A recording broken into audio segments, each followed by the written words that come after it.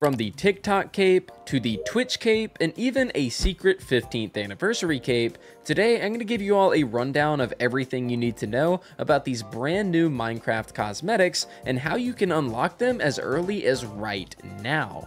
Subscribe to the channel if you learned something new and would like to see future videos from me, and let's jump into it. Very rarely do you see Mojang just adding tons of new capes to the game, yet with the 15th anniversary celebration, we actually got three brand new ones, and today I'm going to teach you how to unlock each and every one of them for Minecraft Bedrock as well as Java. Firstly, let's talk about the Twitch cape. This one is by far the most straightforward cape to unlock, as all you need to do is load up the website, go to the Minecraft directory, and simply watch a Minecraft streamer for 15 minutes before you get it to drop.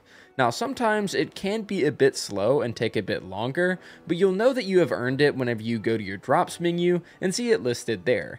If you're on mobile, simply click your profile picture in the top left and then click the drops menu to see it from there.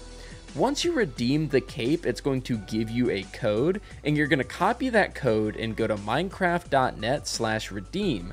Make sure you're signed into your Microsoft account in the top right corner, and then scroll all the way down until you find the Twitch tab, paste your code, and then redeem the reward. Moving on to my favorite and possibly most controversial, we have the TikTok cape. The only reason I say this is because TikTok is actually banned in some countries, and some people may not have access to getting it.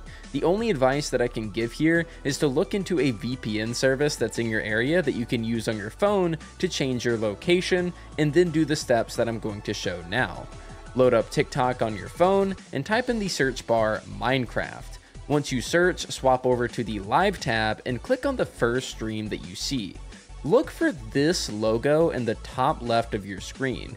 If you don't see this logo, then look for other streams until it pops up for you. At first, this took me a few streams before it appeared, so don't be worried if it takes you a few different tries. I think it's based on the region that you live in. Now, once you notice that logo, click it and it'll tell you to type the word Minecraft in the chat and to watch the stream for 3 minutes.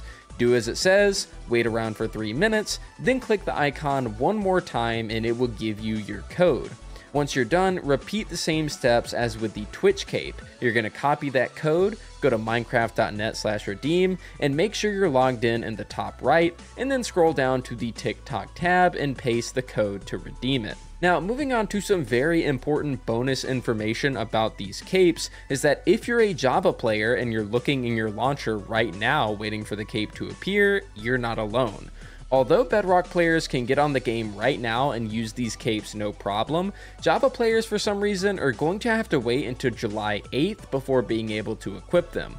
Also, for the Twitch and TikTok capes, these will only be available to earn up until June 18th, so you have a little over a month, and the codes have to be redeemed by June 30th or else they'll expire. Now, let's move on to the final cape of the video. The 15th anniversary cape. Not too much is known about this cape at the moment, other than it was data mined quite some time ago as 100% coming to the game in the near future.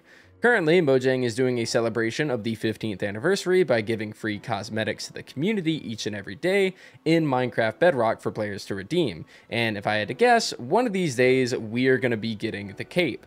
I've heard some people create rumors about this cape being a Bedrock Edition exclusive, and this makes zero sense and is not true. The reason being, Java has existed much longer than Bedrock and is the foundation of Minecraft as we know it. Mojang would not lock an iconic creeper cape to celebrate Minecraft's history behind only one version of the game, so Java players do not worry. Eventually, the cape will unlock, and when that happens, I'll make sure to leave a pinned comment below to update you guys if you need to do anything special to get it. Okay, so as I was recording this video, just go to minecraft.net and scroll down to the tab that says 15th anniversary cape and just claim it from there. Yeah, they literally added it to the game while I was recording this part of the video, so great timing on Mojang's part, I guess.